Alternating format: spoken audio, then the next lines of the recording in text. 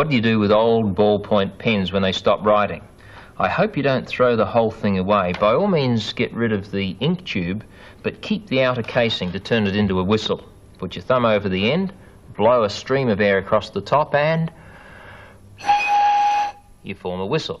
Better still, if you can find a cylinder, a rod of some sort, whether it's steel or wood, doesn't matter, or plastic, if it just fits inside that tube, you can make a whistle that has several notes. I'm using a drill bit here. So I'll start with it there and and I can get a number of notes with that. Also, by moving it as I blow, I can produce a changing note. Listen to this. and it turns it into a sort of a Swanee whistle. A whistle that has a varying pitch. Keep that in mind as we go to the bird cage. What am I talking about? Well, I have two birds in a cage. Hmm, they have real feathers. Terribly real though, do they? I'll put my hand underneath the cage and before long, the red one's turning its head and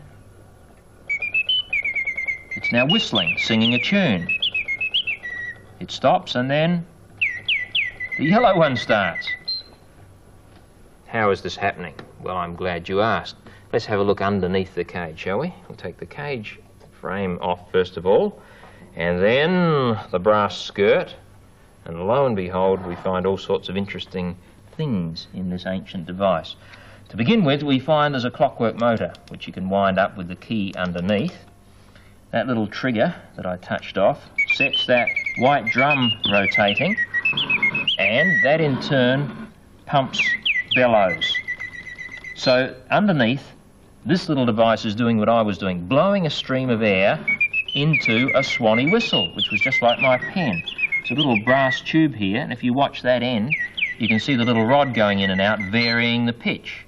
Underneath the white drum, there are some little cogwheels around here, and they are triggering off levers, which in turn decide which bird will turn its head and open its beak. It's really the one tune that's playing from the Swanee whistle, but you see a beak moving and you think it's that bird singing. Well, one great thing about this sort of bird cage is the birds didn't use up any bird seed whatsoever and you never had to clean out the cage.